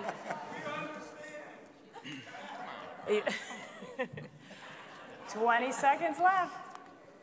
I think I would have to pick someone who I've worked, someone who I've worked with uh, in the past, and who I trust that actually is advocating and, and genuine about it. And I think that would be LaShawn Ford. Okay.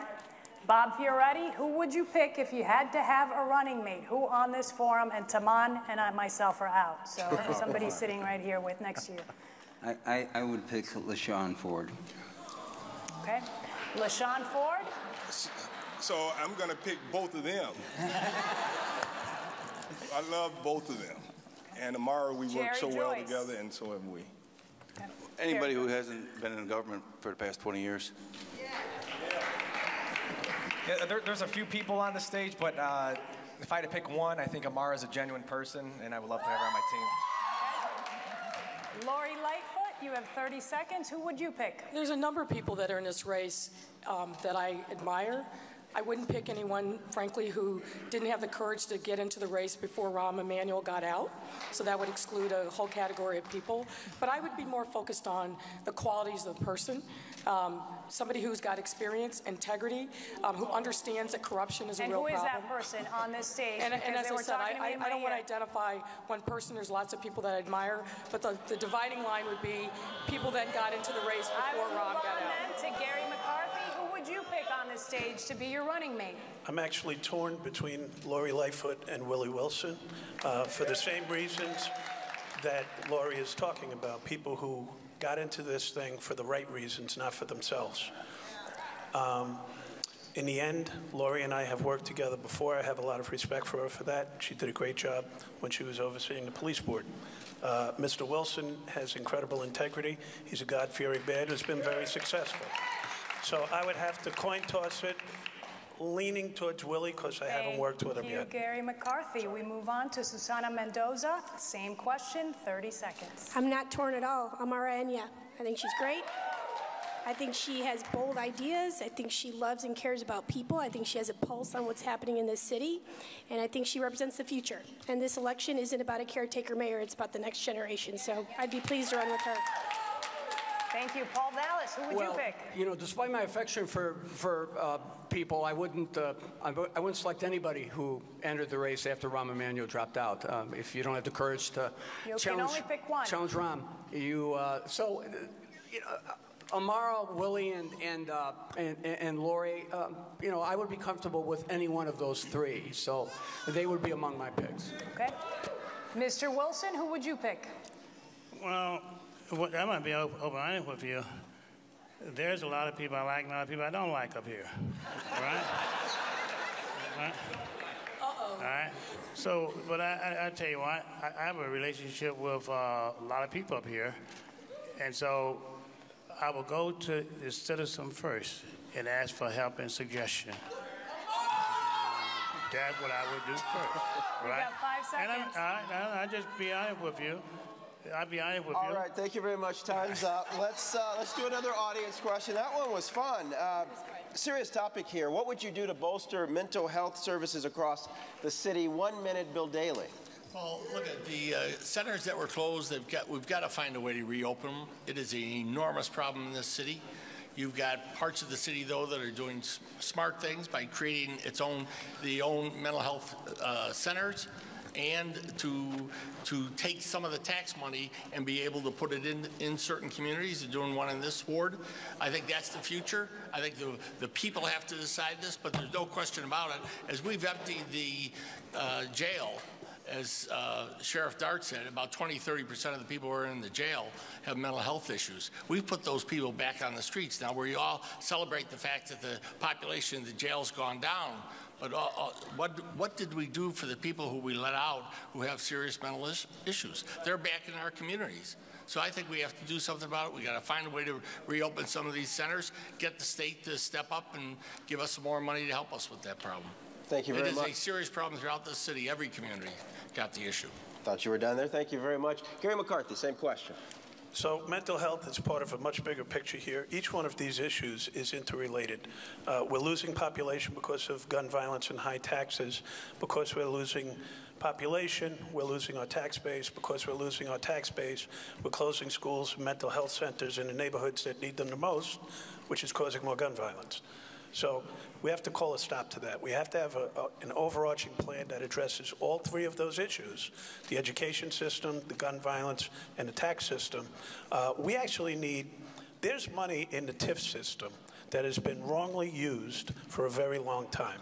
It's supposed to be used for uh, blighted neighborhoods, but for the TIF funding, those neighborhoods will remain blighted. Well, I got I to. Navy Pier is not a blighted neighborhood, nor is Block 37, a block away from City Hall. We can take TIF money and put it into mental health centers, which will help us get to the place where we need Jerry to go. McCarthy, thank you very much. Paul Vallas, what would you do to bolster mental health services across the city? One minute. Well, first of all, let me point out there used to be 19 mental health centers, not the 12 that they cut down to six.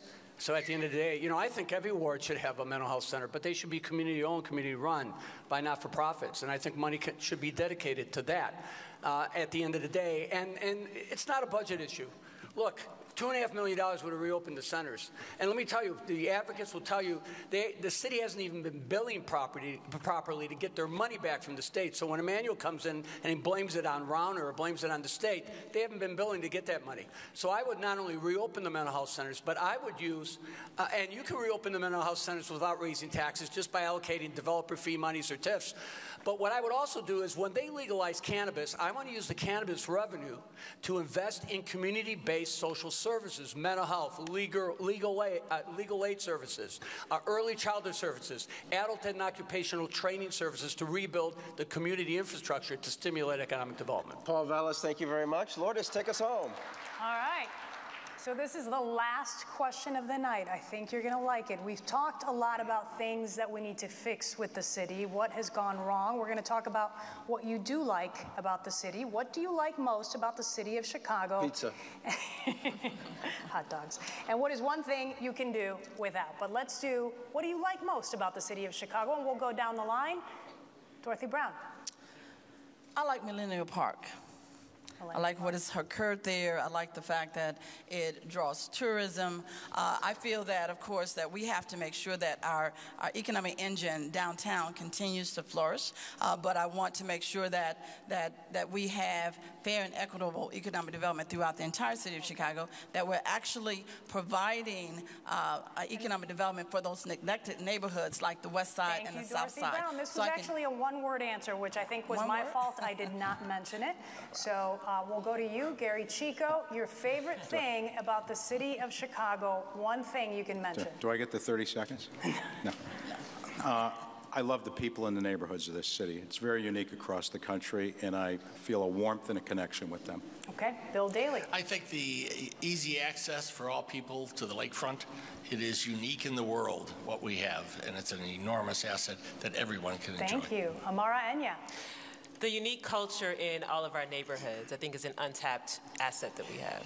Bob Fioretti. I think the, uh, our neighborhoods are great, but I also would like to focus on the museums much more and, and make sure that they get out to our students. What do you like most about the city of Chicago? LaShawn Ford. I like the many possibilities if there's fairness and equity.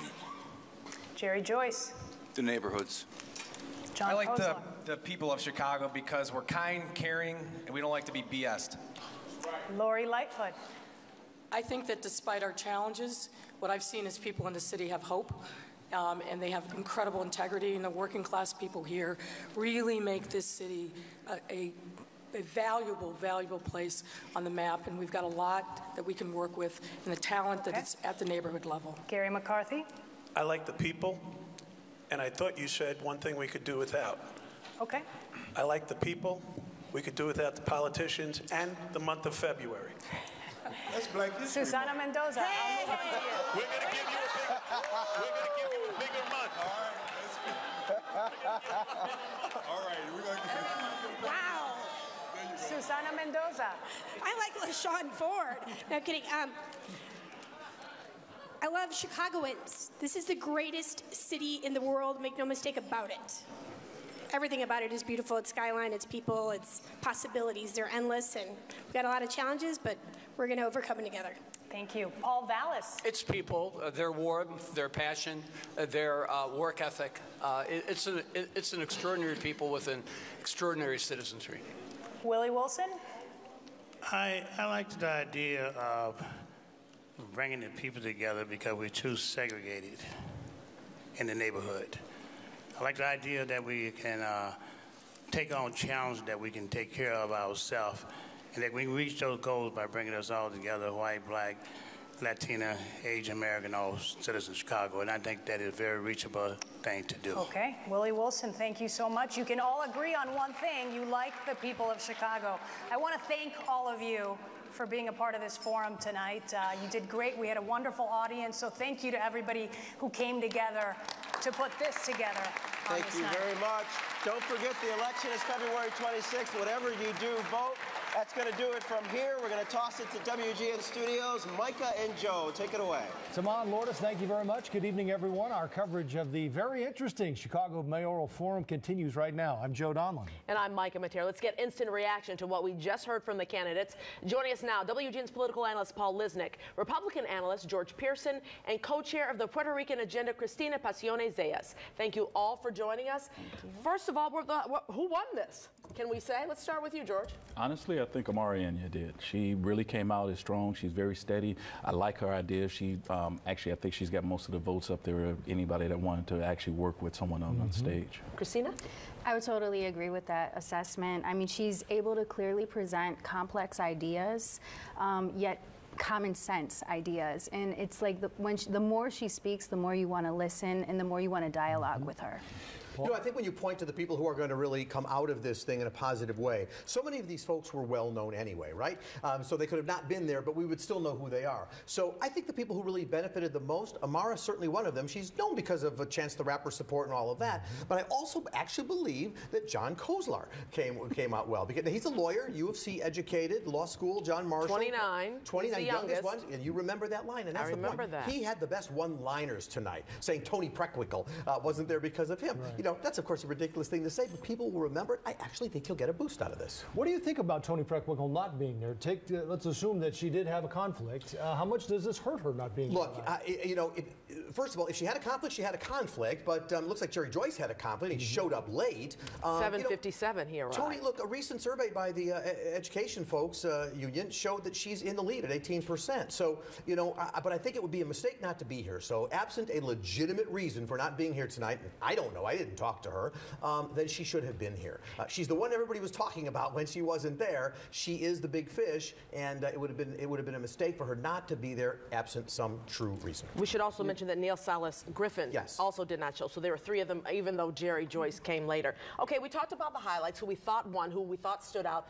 Who didn't do very well tonight, do you think? Paul, let's start with you.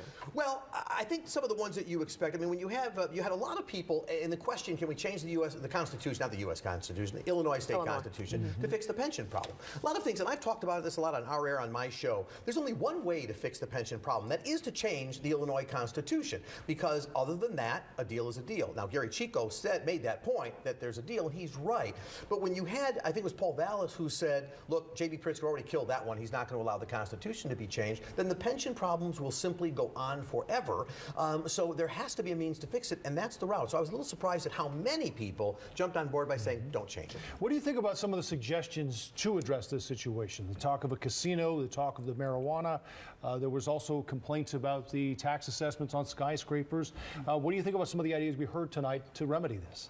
Uh, of course, the assessments definitely need to be changed. The, the property tax assessment program throughout Cook County has been ridiculous. It's causing a lot of blighted neighborhoods outside of the city of Chicago within Cook County. So that's number one. If you don't start there, you'll have a lot of other issues. The second point in all of this, yes, they talked about, you know, changing the Illinois Constitution, not just for the pension, but also to, you know, change to a progressive tax. And that's one of the things that Willie Wilson kept pointing out. We, there are other avenues that we can take to actually change and bring in revenue. If you don't start there and actually bring in new businesses, you know, work with entrepreneurs, and, I, and we're talking about real small businesses. Again, Amar Mara Enyia talked about, you know, how brick and mortar is going away. How many stores are, you know, shutting down here in the city of Chicago right now? Sears have gone the way of Montgomery Wards. If you don't try to find new revenue streams, the casinos, the marijuana is not going to mm-hmm. do it. We forget about the back doors with marijuana, the money laundering that would occur. So we're going to legitimize a lot of um, cartels that are making their money and, and, will literally wash their money as they're doing in Colorado. And we do not talk about the crime that comes along with a lot of that legitimizing of marijuana in Colorado. But Cristina, who do you think after tonight may decide to drop out? Didn't do so well. This, you know, they found out they're in a little bit too deep from this forum? I mean, I think it's really difficult. It, this was, you know, Vallas had said something about this is a job interview, right? Mm-hmm. This is mm-hmm. like doing a group interview, mm-hmm. and that's it's really hard to kind of stand out. And I mean, frankly, I was kind of disappointed that um, two main areas that I think have really been big issues that weren't talked about was the investments made in early childhood. And nobody spoke to that except at the very end, Vallas had said one thing. And I'm pretty surprised because Mayor Rahm Emanuel did significant investments. Whether you agree with them or not, that's a very important growth piece for our economy and also education and closing the achievement gap.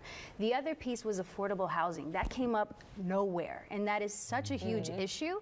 And I was just really surprised. And so I'm just wondering, you know, with this whole kind of, uh, we've got 13 to 15 candidates, mm-hmm. um, I think they need to do some reflection. And I think they need to make sure that they have the pulse um, check of the community and understanding that there's some major issues that did not get addressed and, tonight. You know, if I can address that, Mike, I think one of the things that's going to get determined tonight, folks who have money to spend on these candidates watching this debate and wondering for them and wondering who do I want to put my money behind. Now, folks like Bill Daley, he, he, you know, he, he's doing well. He's got money. Willie Wilson has money, but some of these candidates, I mean, uh, need money. People like Bob Fioretti, who's been an alderman in the second ward, who's you know served the city a lot, but if they don't get a bit of a groundswell of money behind them, that's going to push them out of the race. It won't be for the lack of their their, their views. Mm-hmm. Uh, by the way, points to Amara and Susana for making, sort of saying, I come from the neighborhoods, I grew up in this city. I, several said that, but they really talked about their connection to growing up in these hoods. For a lot of people watching tonight, this was their first chance to see many of these candidates. Yes. Um, several of them made a point of being in this race before Rahm Emanuel dropped out. To them,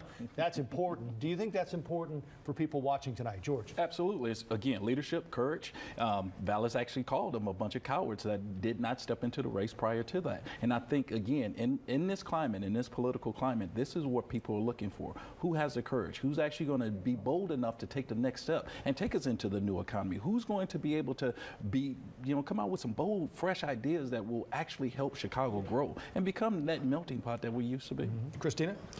Yeah, no, I think that it's really. Um, it's just really interesting in terms of like how the discussion progressed over time and i think it's really important to kind of point out that in this kind of space, in this field, you have so many people that came out. And actually, we were just talking about this, right? In that we want to see something different. Yes. And you have, it's, it's a large city, but we have kind of a small political circle, and you see people being recycled. And so I think that's kind of an interesting mm-hmm. point and dynamic of Chicago in this particular race. I like how you say that people are being recycled, and it's definitely, there are a lot there who have been recycled, but there were some newcomers that we talked about. Let's talk a little bit about the fact that they talked about Ed Burke, who was recently indicted, uh, charges, and he's been alderman forever, head of the finance committee forever. Let's listen to what they had to say about that.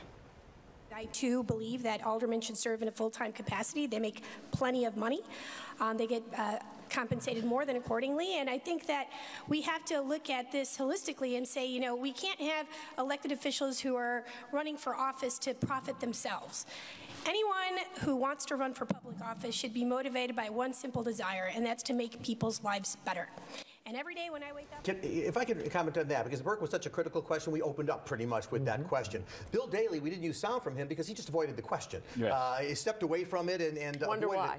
Yeah, well, uh, well, well, they all had ties. I mean, he did make he yeah. did make the tie. To his credit, there's hardly anybody up here who probably doesn't have some tie to Ed Burke, and then so I'll shift to my agenda. But uh, the reason I like Susana Mendoza's uh, the use of her response here for us is the fact that she basically what she was referring to is that Ed Burke's problem is what was he gaining personally from his role in government. And so there are so many people, but, but that alone is not illegal in this state or even unethical. It is, it is okay to have a property tax law firm while you are serving as an alderman in the city council and chair of the finance committee. Mike Madigan has the same deal up at the state legislature. So she raised the point simply saying, look, they need to be full time. We need to get rid of their opportunity to do these outside outside jobs. I think that's an appealing argument once people understand that they're allowed to do this anyway. Who do you think gets hurt, hurts the most by the Burke situation, and is it possible that this gets worse as we get closer to the election? Cristina, we'll start with that. It's toxic. I mean, and, and unfortunately, it takes away from the issues. I, I corruption is an issue in our city, corruption is an issue in our state. Um, but what it really does is distract us from really addressing the issues that we need to address and coming up with solutions, community driven solutions, root cause going straight to that root cause of the problem. And so, I mean, I think we do need to address it through ethics. I, we need to do it through training. We need to make sure that we bring forth people that are ethical, that are authentic, that come from the city, and that are going to make some changes. Mm-hmm. George? Honestly, the people that were hurt by this, Toni Preckwinkle, Bill Daley, because again, their their political ties in that small political circle, that mm-hmm. that fiefdom that they've created here in Chicago. But to your point about you know whether or not if this is, should be legal or not. It is illegal if you're actually forcing people to turn to the, your business, and that is what the tapes will actually play out. So yeah, well, that's what, what it takes saying, to play the tapes. but what about Susana Mendoza though too? Remember, she's got something that says he was her mentor. Mm-hmm. I think she was married, married in his house. In his house, yeah. yeah. So don't you think she could get hurt by him too?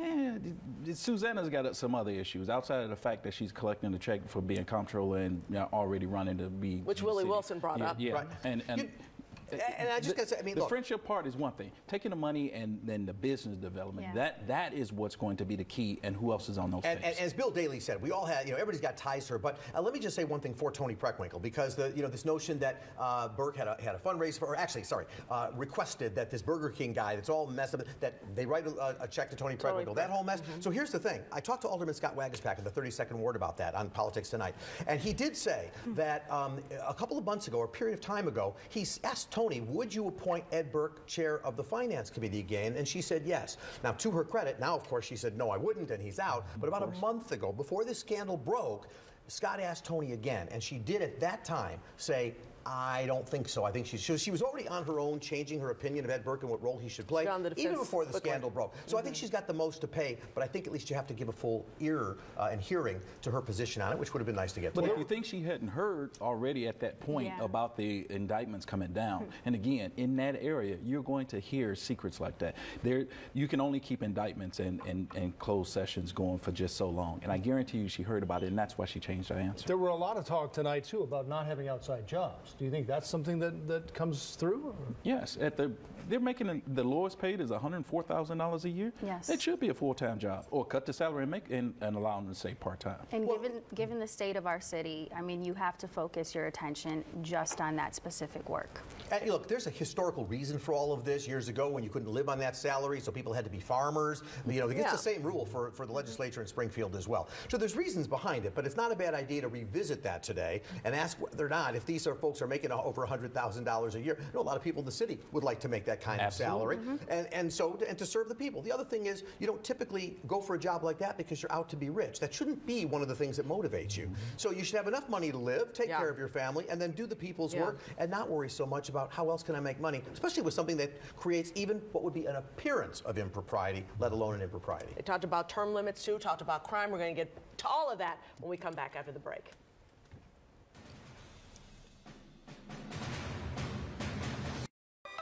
In Riverdale, an eighth grader, Jaira Griffin, raises money for a free wash day at a neighborhood laundromat so parents can send their kids to school with cleaner clothes. Six months after Hurricane Maria ravaged Puerto Rico, local volunteers and electrical workers were still headed to that island to bring supplies and help turn the lights back on. These are Chicago's very own stories. And we're telling them every night. Watch Micah and Joe, weeknights on WGN News at 9. Do you know a teacher who uses innovative techniques in the classroom or has made unique contributions to the community? WGN